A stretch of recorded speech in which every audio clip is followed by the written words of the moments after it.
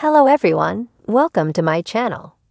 Please subscribe and keep watching more details. General Hospital spoilers Rick and Sonny finally come face to face. Rick Lansing, portrayed by Rick Hearst, has been back in Port Charles since August 22. However, he hasn't come face to face with his half-brother Sonny Corinthos, Maurice Benard, yet. General Hospital fans are wondering when this might happen. Now, Rick Hearst has revealed what will bring the two characters together and how things might play out. Keep reading to see what the GH star had to say. The relationship between Rick and Sonny has been anything but good. Now Rick is set to represent Ava Jerome, Maura West, in her upcoming court trial. She is accused of pushing Sonny's daughter Kristina, Kate Mansi, out of a window while she was pregnant. Kristina was badly hurt, and the baby did not survive the incident. So she is faced with manslaughter charges for the death of the baby Kristina was carrying for Molly, Kristen Vaganos, who is Rick's daughter.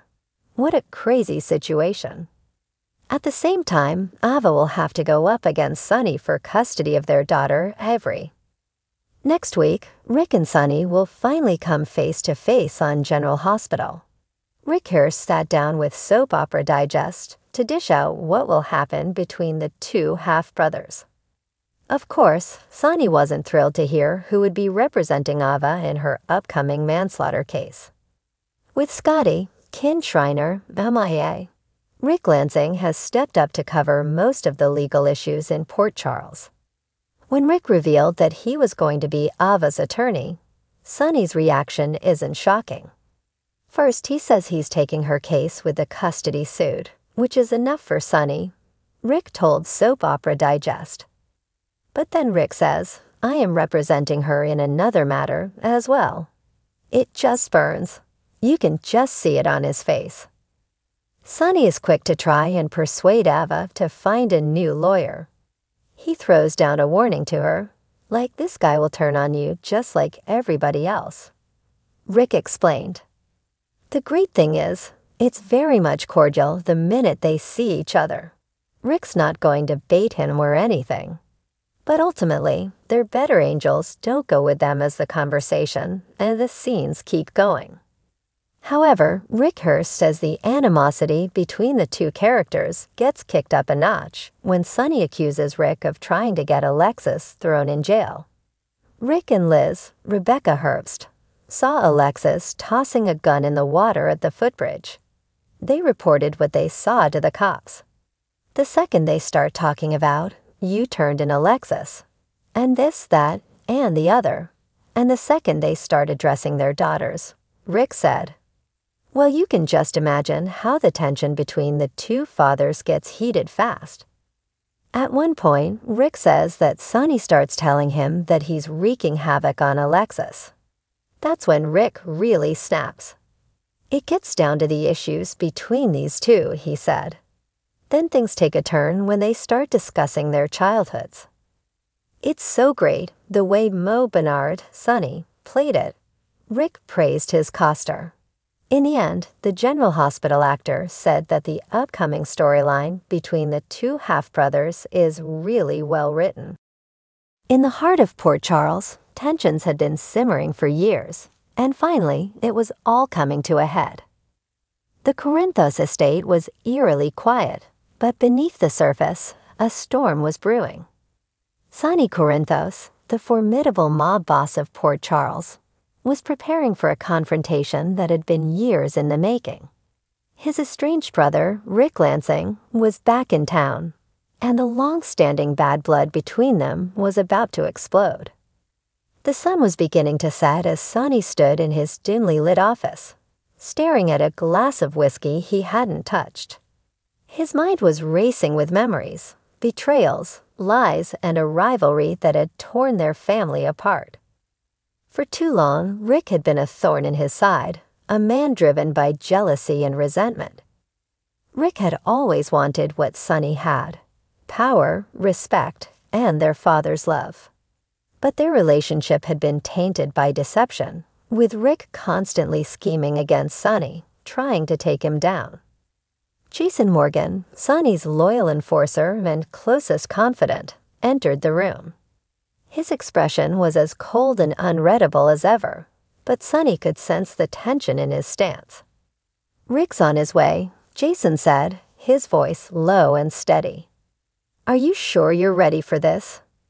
Sonny turned to face him, his jaw clenched. I've been ready for this my whole life, Jason. Rick's been a snake since the day he stepped foot in Port Charles. Every time I've tried to make peace, he's turned around and stabbed me in the back. This ends tonight. Jason nodded, his hand resting on the holster beneath his jacket. I'll be right outside. If things go south, I'll handle it. Sonny waved him off. No, this is between me and Rick. No guns, no backup. Just words. He paused, then added, At least, that's how it should be. But with Rick, you never know. Jason gave a curt nod and exited the room, leaving Sonny alone with his thoughts once again. The sound of footsteps echoed in the hallway, and Sonny's heart rate quickened. This was it. The moment he'd been anticipating for years. He straightened his suit jacket and moved toward the desk, taking a seat. He wanted to be calm, composed, and in control when Rick walked in. The door swung open, and there he was, Rick Lansing. His presence filled the room like a dark cloud. He was dressed in a sleek black suit, his face as sharp as ever, though the years had etched a few more lines of bitterness around his eyes. He smirked as he closed the door behind him, the tension between them palpable. Sonny, Rick greeted, his voice dripping with mock cordiality. Long time no see. Rick, Sonny replied coldly, his eyes narrowing. What do you want? Rick chuckled softly, shaking his head as he walked further into the room. Always straight to the point, huh? No small talk, no pleasantries. That's just like you, isn't it? Sonny's patience was already wearing thin. I'm not in the mood for games, Rick. You've been gone for years. Why are you back now? What's your angle this time? Rick's smirk faded, replaced by a more serious expression. He leaned against the desk, crossing his arms as he looked down at Sonny. You think I have an angle? After everything we've been through, you still think this is about taking you down. Sonny scoffed. Isn't it always? You've never been able to let go of your hatred for me. You've always wanted to destroy everything I've built. What makes this time any different? Rick sighed, rubbing a hand across his jaw. You still don't get it, do you? This was never about power or money. It was about family. It was about me trying to get a place in the family that you shut me out of from the start. Sonny stood up, his temper flaring. Don't give me that. You've done nothing but betray me, Rick. You kidnapped my wife, for God's sake. You threatened my children. You've crossed every line. And now you want to stand here and pretend this is about family. Rick didn't flinch. You're right. I've made mistakes. But you're not innocent either, Sonny. You always had everything, and you made sure I knew I wasn't part of it. You think you're the victim. You're just as guilty as I am. Sonny's fists clenched at his sides. He could feel the rage boiling inside him, but he fought to keep it under control. You've always been jealous, Rick. You couldn't stand that I had what you didn't. But that's not my fault. That's on you. Rick's eyes darkened, his voice dropping to a low growl. Jealous? Maybe I was. But that jealousy was fueled by years of you pushing me aside, treating me like I was nothing. You think I wanted to be your enemy? I wanted to be your brother, Sonny, but you never gave me the chance. For a moment, the room was silent, the weight of their words hanging in the air.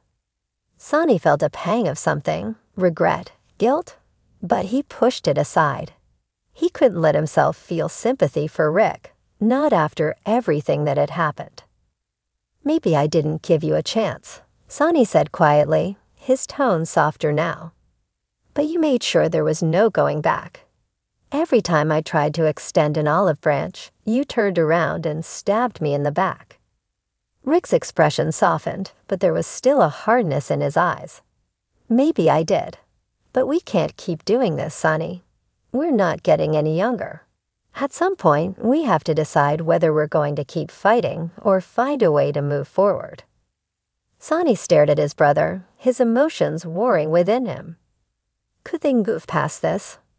Could they ever be brothers again after all the lies and betrayals? I don't know if we can, Sonny admitted, his voice low. Too much has happened. Rick nodded slowly, as if he expected that answer. Maybe you're right, but I'm willing to try if you are. Sonny remained silent for a long moment, his mind racing. Finally, he looked up at Rick, his eyes hard. I'll think about it. But if you cross me again, Rick, I swear there won't be another chance. Rick gave a small nod, understanding the gravity of Sonny's words.